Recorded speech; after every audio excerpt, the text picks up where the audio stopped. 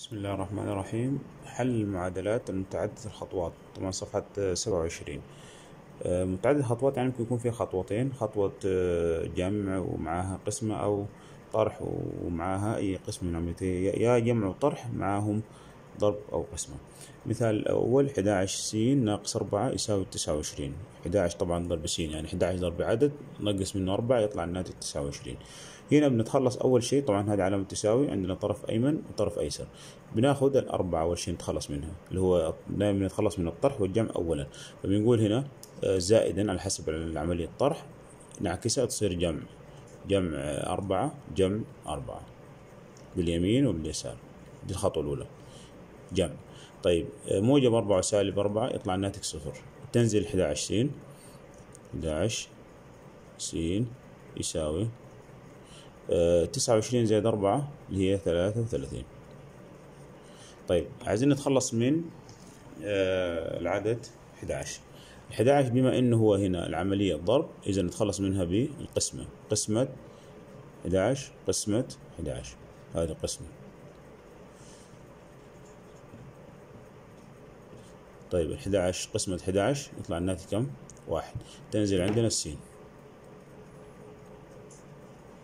سين يساوي ثلاثة وثلاثين قسمة أحد اللي هو ثلاثة. يعني ثلاثة في أحد تطلع اللي هي ثلاثة وثلاثين. إذن هذه قيمة السين. طيب نشوف المثال الآخر. يقول ألف زائد ألف زائد سبعة مقسوم على ثمانية يساوي خمسة. طبعا القسمة الثمانية دي مقسومة على الألف والسبعة وليست على الألف فقط. فإذا لكي نتخلص أول شيء ما نقدر نتخلص من طبعا هذه علامة تساوي طرف أيمن طرف أيسر. نتخلص من السبعة ومن الثمانية. أول شيء نبدأ اللي هي بالثمانية. نتخلص منها اللي هو طبعا بالضرب. نضرب الطرف هذا في العدد الموجود في المقام اللي هو ثمانية. ونضرب هنا في ثمانية. ضرب ثمانية. طيب. آه الثمانية قسمة الثمانية يطلع الناتج واحد. تنزل عندك ألف آه زائد سبعة يساوي. خمسة ضرب ثمانية اللي هي أربعين يساوي أربعين.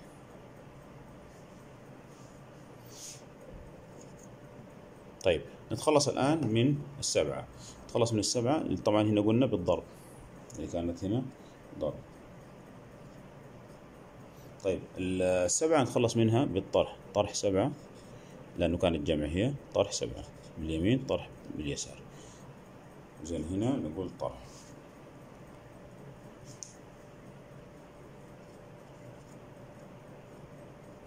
طيب السبعة تحذف مع السبعة يطلع الناتج صفر طبعا ينزل ألف. يساوي أربعين ناقص سبعة اللي هي كم؟ ثلاثة وثلاثين. هذه قيمة الألف. طبعا إذا عايزين نتحقق ممكن آه، نضيف هنا بدل من ألف ثلاثة وثلاثين زائد سبعة اللي هي كم؟ أربعين. أربعين على ثمانية يطلع الناتج خمسة. طيب آه، نشوف سؤال آخر اللي هو الأعداد الصحيحة المتتالية. الأعداد الصحيحة المتتالية. ما هي الأعداد الصحيحة المتتالية؟ طبعا الأعداد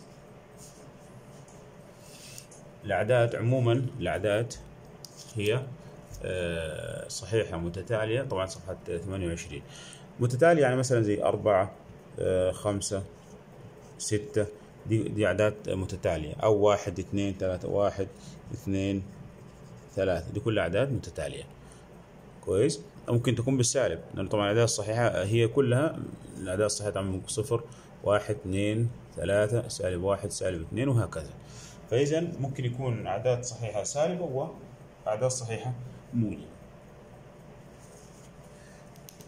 آه متتالية. طيب نشوف الآن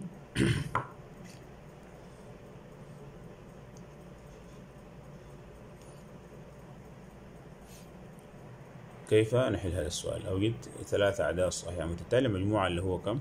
واحد وعشرين. الأعداد الصحيحة المتتالية دائما هي الحد الأول إذا كان هو نكتب المعادلة طبعا. المعادلة. الأول أول عدد حيكون نون. الثاني طبعا زائد الثاني. الثاني حيكون اللي هو بما إنها متتالية حيكون نون زائد واحد. زي ما قلنا أربعة خمسة ستة إذا أربعة زائد واحد تطلع خمسة. وخمسة زائد واحد ستة. فإذا حيكون نون زائدا نون زائد واحد. زائدا نون زائد اثنين. يساوي اللي هي يساوي واحد وعشرين. لأنه قال المجموع واحد وعشرين. المجموع واحد وعشرين يساوي واحد وعشرين. طيب نجمع النون مع النون. عندنا كم نون هنا؟ اللي هي ثلاثة نون. نحسب. واحد اثنين ثلاثة. إذا ثلاثة نون. نقول ثلاثة نون زائدا واحد زائد اثنين اللي هي ثلاثة. تساوي واحد وعشرين. خلاص صارت عندنا هذه المعادلة. كيف نحل هذه المعادلة؟ حل المعادلة.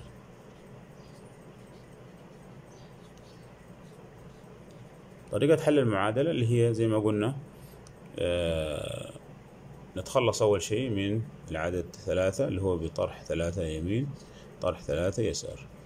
ثلاثة مع ثلاثة تحذف تنزل عندنا ثلاثة نون. ثلاثة آه نون. يساوي واحد وعشرين ناقص ثلاثة اللي هي ثمنتاش طيب عايزين نتخلص الآن؟ طبعا تخلصنا منها قلنا هنا بالطرح. طرح. نتخلص من الثلاثة. الثلاثة هذه بما أنها هي ضرب نتخلص منها بالقسمة قسمة قسمة. طيب ثلاثة مع ثلاثة تحذف اللي هي ناتجها ثلاثة قسمة ثلاثة الناتج واحد. واحد اختصارا ما يكتب إذا نون تساوي. ثمانية عشر تقسيم ثلاثة اللي هي ستة. إذا العدد الأول الأعداد حتكون هي. الأعداد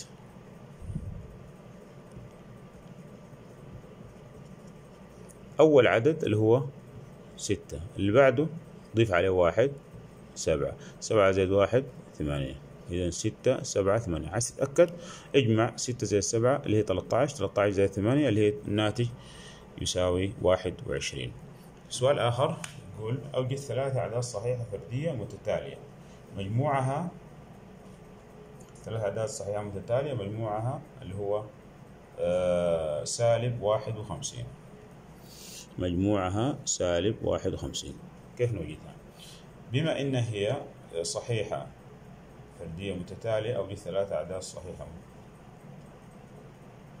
متتالية. فالأعداد الفردية طبعا في أعداد فردية وأعداد فردية أعداد فردية وأعداد زوجية. الفردية هي واحد آه، ثلاث خمسة سبعة آه، تسعة هذه كلها نسميها أعداد فردية. طيب والزوجية اللي هي اثنين أربعة ستة وهكذا. فإذا آه، الأعداد بما أن هي قال ثلاث أعداد صحيحة فردية متتالية إذا إذا كان العدد الأول هو نون الثاني حيكون اللي هو نون زائدا اثنين يعني بإضافة اثنين زائدا نون زائدا أربعة يساوي اللي هو سالب واحد وخمسين لأنه قال المجموع يساوي كم؟ سالب واحد وخمسين طيب نجمع الآن نون واحد اثنين ثلاثة. إذا ثلاثة نون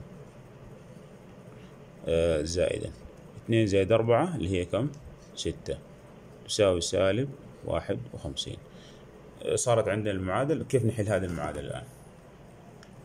طريقة حل المعادلة اللي هو لإيجاد قيمة النون بنتخلص من الستة أول شيء بالطرح. طرح ستة يمين طرح ستة يسار.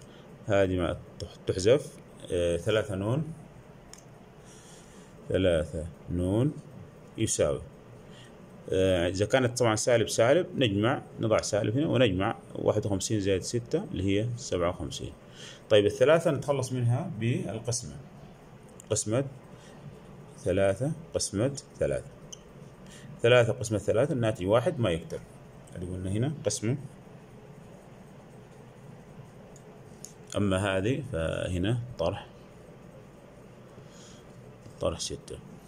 طيب آه نون يساوي طبعا بما أن القسمة عدد سالب على موجب يطلع الناتج سالب. طيب سبعة وخمسين تقسيم ثلاثة. نعمل قسمة مطولة هنا اللي جنب. آه سبعة وخمسين تقسيم ثلاثة. نقسم. آه خمسة تقسيم ثلاثة اللي هي يعني خمسة فيها كم؟ ثلاثة فيها واحدة. واحد في ثلاثة الناتج ثلاثة. نطرح. خمسة ناقص ثلاثة اللي هي كم؟ اثنين نزل السبعة. سبعة وعشرين تقسيم ثلاثة أقول فيها التسعة. تسعة في ثلاثة اللي هي كم؟ سبعة وعشرين. أطرح. إذا الناتج اللي هو تسعة عشر إذا هنا نقول تساوي سالب تسعة عشر ما هي الأعداد؟ الأعداد هي